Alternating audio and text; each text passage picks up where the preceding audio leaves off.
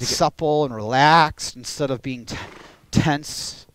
So letting them have, let's let them explore again, and then we'll go back to some more, some more hindquarter work. I like to think there's a headlight on my chest. Oh yeah, just like on the ground, remember? Now I still use the rein on a horse like this. I'm riding in a halter. It, my hands will be more exaggerated sometimes. It's not like finishing, uh, it's not like we're in a, uh, you know, neck reining or something, so just realize that. What if you work a horse on the ground in a snaffle? Well, that'd be fine. I do that. It's in hand work. And so if I do some in hand work, well, then maybe I would have rode him with a snaffle bit today. But this is the way it worked out for me. There. I feel like he could look to the left a little longer. Come on, buddy. Could he step that hindquarters over a little more? Okay, let's not be too greedy.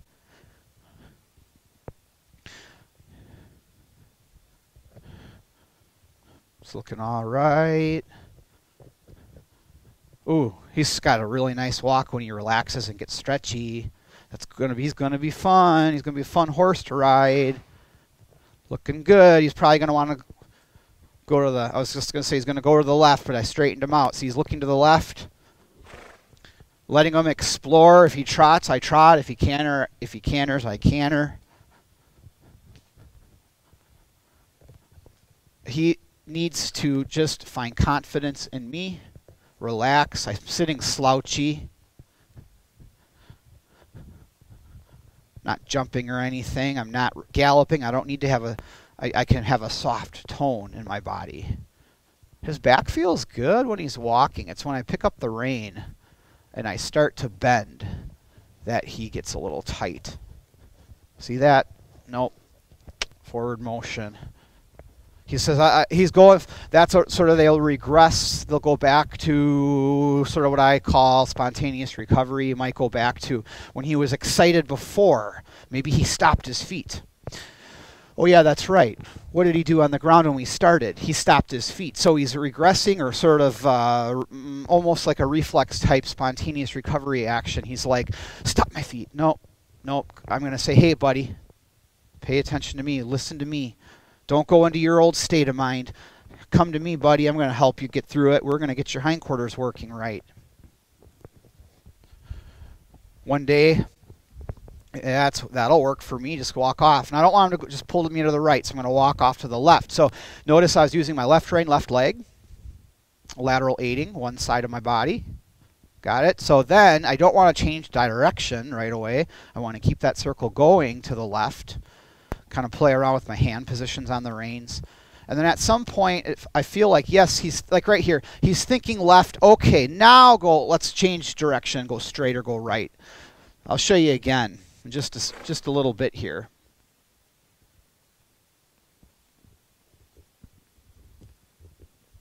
Going to move his head. Ah, going to use a right bend, right rein. I'm going to use a right leg. I'm just going to spiral into just getting that hindquarters to cross under a little bit. Can you get a little more? This is very primitive in a rope halter at first. So um, I'm not going to get a perfect turn on the forehand. I don't really need that. I need him to cross the hind legs. And then after that happens, he's already bending right. So then let's bring our hand kind of out, slightly leading him through onto the circle. So now it's not the hindquarters anymore. It's more like a little circle. Now he's really looking to the right here. Ah, good. He's thinking right bend. So then I have no problem straightening out and going to the left. But if he if pulling on me, if he's pulling to the outside, get him thinking about the inside with your inside leg and reins. Like the jump is here on my left. Wiggle my left rein and my left leg a little bit. Let's uh, see, he's looking to the right. So that's interesting. There it is, getting him to look into the left. I'm riding him very simplistic. That's what he needs, or at least that's what I need. I don't know. Simple can be really good. Getting them to look to the right. I like I like the right bend. I like the right bend. Let's try a left bend. I visualize what I want to have happen before I do it. We go forward, and I'm going to turn left come through the jump standards. It's just a little doorway. Get him to look to the left. I like it. I'd like to come down the rail and come back towards you and yeah. He saw a car way out there through the window actually outside saw a car and thought that was quite interesting. So he's the type of horse obviously that notices lots of things. So if we're galloping out in a field, he he might not be thinking about his feet all the time. He might be thinking about what's in front of him and what's the danger, what what's going to hurt him. He might be worried about that. So here we go again. I need more left bend. Look at need that left ear to come around. He wants to go to the right, but he needs to draw the mind to the left. The left. And I'm just kind of concentrating on him a little bit looking for that there, looking for that left ear and the there and the hindquarters just to kind of break over a little more. There, that'll work. Leave him alone. Yeah, I'm asking a lot, aren't I? And the reason is he needs to look left and think left. That that'll work. He sucks back. I say you go forward. Take that hindquarters. Forehand through the turn more. My hand's exaggerated. Kind of coming out to the left pointing, almost pointing, come through the turn. When I feel like he's solid on left bend, then what we'll do, we shall go straight and change direction. See that? But I don't want to let him, was if he's thinking about bending, you know, counter bending and pulling, I don't want to let him go there. Want him to find where, I, look where I'm looking. Feel for the human be mindful of me. Where am I looking? Where's my chest pointing? Where are my eyes looking? A horse can tune into that. To the right, trying to get smooth. What I love about this horse, once he's walking and for uh, moving, he's pretty nice and forward. He's he he actually does sort of turn loose pretty well uh, at the walk. I mean, I realize there's a lot. He's kind of yielding off well. I don't know that I could go outside, go gallop. Well, maybe he would turn loose. Maybe that's just what he needs. that's later. It's a little wet today. This is feeling all right to me. I'm going to think about the mounting block and put my thoughts to the mounting block and my attention to the mounting block. And of course, it's that left side. So maybe he looks at it and he goes, hmm, hmm. Uh, I'm going to say, can you, no, no, don't pull on me that way. Think about that mounting block here. He'll run it over. I don't know that I want that either. See, huh, maybe he will run it over. I guess the problem is you when you think about something with the horse, it usually happens. Imagine riding up to a jump, saying to yourself, I think he's going to refuse. I think he's going to stop. I think he's going to stop. And he looks at the base of the jump. Where are your legs, pal? Got me a little nervous there for a bit. There's the mounting block. I don't get too nervous. Just kind of wondered where his back half went.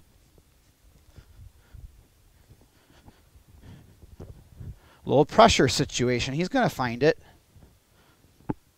He doesn't know what I want. I want him just to stop and halt by the mounting block. He doesn't understand that. I'm going to reinforce my aids. Uh, my reinforced my my idea. All right. And then he says, "Well, while I'm over there, I might scratch my nose on it." Almost done. We'll walk off a little bit, let him have a thought and think, and you know, and maybe he goes, uh, "That mounting block thing. This isn't so bad. Maybe I want to go over there." It's a halt zone, sort of.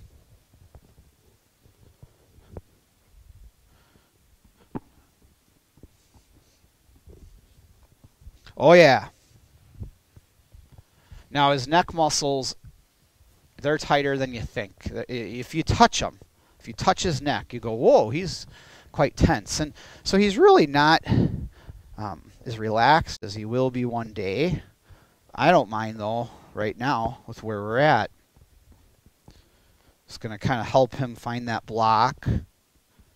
That'll work. I like a lively horse. I know I mentioned that it's a few times, but almost there, guy. Now he doesn't know this yet, but he will one day. That if you park me by that block, I'll get off your back. Now, it's a pretty good place to be.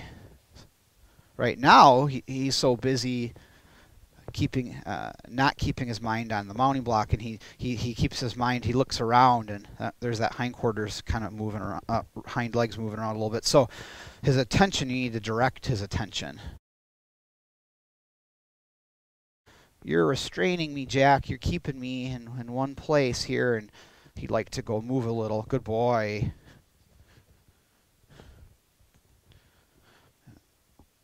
every time I move his hind like this, it's it's a bonus. Good. Kind of clapped his side actually, more not to pet, but just to say, give me your attention. There it is. Come on, think about me. For, forget about all that other stuff.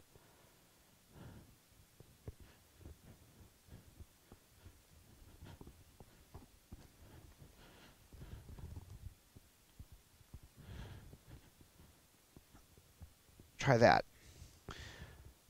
It's a step in the right direction. Or left direction. Come on, buddy. It'll make a boring video if you don't give me the here the mounting block.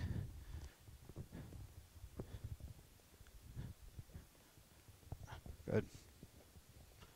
He's so close, and then he can't hand, he can't quite. He goes, I don't want to keep it there on my side. I don't want to. Skeptical a little bit. Good. Yeah, it's that thing. It's that mounting block thing, buddy. That that thing's important.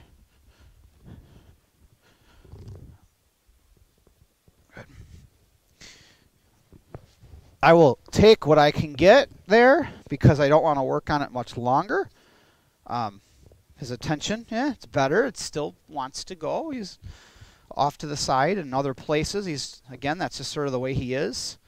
But I think he's sort of figuring out like, hey, this guy's not so bad. I mean, that wasn't so hard, was it? You know, and he says, well, that's real. That stuff's real weird and snorty. Oh, kick up your hind legs. You know, that's sort of the good. My intent is to have him stand while I rope his owner didn't know. That will make him a roping horse. She's probably thinking, I just want to jump stuff and do dressage.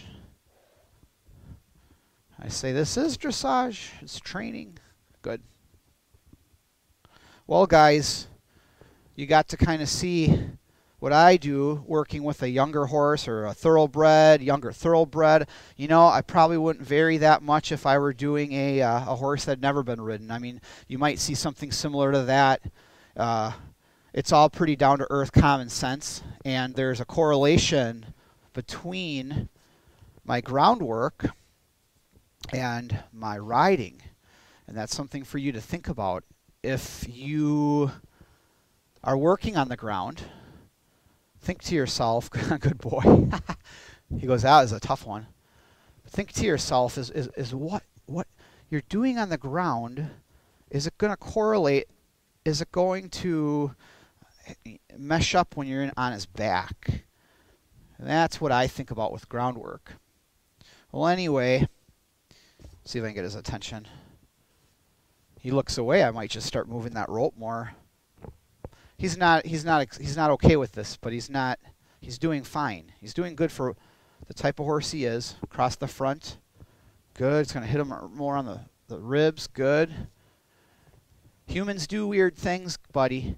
You just you have to understand that ev not everything is threatening. There's a change there. I hope you enjoyed that. I really liked working with this horse. I thought he was pretty nice um, to work with.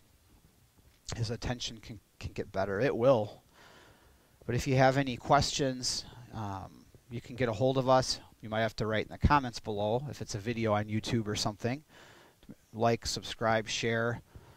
Tell your friends because we want to try to help snorty horses and snorty people that are nervous with horses. So I hope you enjoyed that. We'll see you again.